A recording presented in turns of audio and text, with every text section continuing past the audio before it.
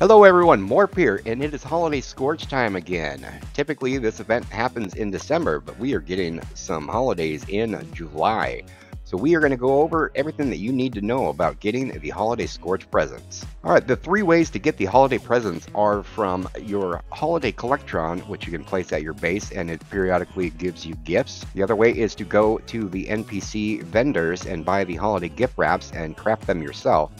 And the main way is to get it from the special holiday scorch. Places on the map that have scorch spawn, they will be replaced by a few of the holiday scorch, which will be wearing Christmas related outfits and hats and stuff. And when you kill them, not only will each of them, which will be a legendary one, two, or three star dude, dropping a piece of scrip, they will also drop a holiday gift. And when you open it, there will be a large array of different plans and items that you can get in there. And this year has a wide array of new plans.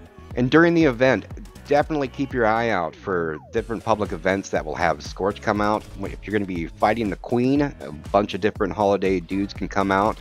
Line in the Sand is another really great place to have the holiday guys come out. Other ones like Always Vigilant, I've had great luck with. And Distant Thunder, it's a trap. Another really, really great one is Collision Course. That one actually can be triggered. And if you're using the, the daily op trick to make sure that you come back into the server right there, you can just do it over and over. If you have a private server, you can just farm that all day long, which is kind of nice. Now, buying them from the NPC vendors, there's going to be three options. There's a really cheap one, the middle one, and the expensive one. You should be only buying the middle one. The bottom one has a very, very low chance of giving you any plan, so it's basically worthless. And the really expensive one has just a smaller percent chance of giving you a plan, but it costs three times the middle one. So if you're going to be buying, make sure that you only buy the middle one. And I do suggest that you bring a bunch of just random stuff to sell back to the vendor, because as you're buying them, the caps will refill in there and you can just basically save more money. Now the other method is to have the holiday gift collectron at your base and if it's set to gifts it will periodically fill up with some presents which you can open which is really great. The event that happened a few months ago, the Atom Shop didn't have it for new players. I'm hoping since this was a scheduled event that on Tuesday we will find that people that don't have it are able to get it. And now that brings me to my favorite method for farming the holiday gifts. If you do have access to Fallout First and you have your private server, it's going to be a lot easier. But you can take over any of the 21 workshops that are on the map and you can place down a holiday collectron there. It won't count because it, you know at your own base you can only have one. But if you have all 21 workshops taken over, you can have 22 of them, including the one at your base.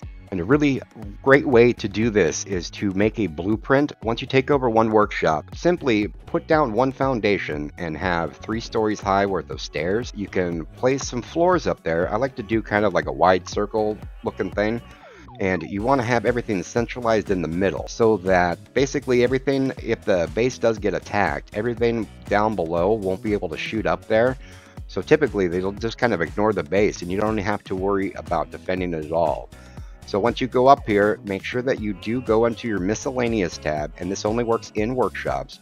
You'll have an item called the fast travel target, so that once you do crouch and you do fast travel to your base, you'll fast travel right to that rug. And then you can walk in there and you can collect the holiday gifts. And you can also put an array of different things that you want to collect. I personally have like the acid farm, the adhesive, and some coffee and the different things.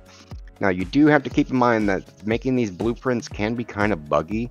I had to make a secondary little blueprints just for the stash box and the ammo box and that kind of thing because when I was doing the blueprint with those on them it was, wasn't wanting to place on the next base. Alright, a big thank you to Digital Content for helping me compile this picture for showing where all of the different places on the map that have the scorched as well as the workshops and it doesn't matter where you start kind of your method, but once you take over all of the workshops, you know, you have the option of either only just go into your workshops every 30 minutes or 40 minutes, uh, wait for them to fill up, or you can kind of just do this whole path.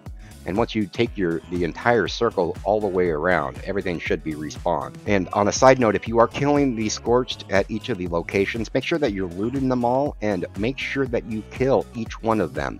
If you run around and only kill the Holiday Scorch, uh, that'll make it so the next one that spawn, if it's a normal one, you might have the entire area just full of normal guys. So you want to make sure that you kill them all so that there's more opportunity for the costumed ones to spawn in there. All right, and I've included links to a lot of the different things that I've covered here in the video, as well as Nuka Knight's page and Sugar Bomb Rad's Twitter page. So definitely keep a eye on those for more information on cool stuff that comes out.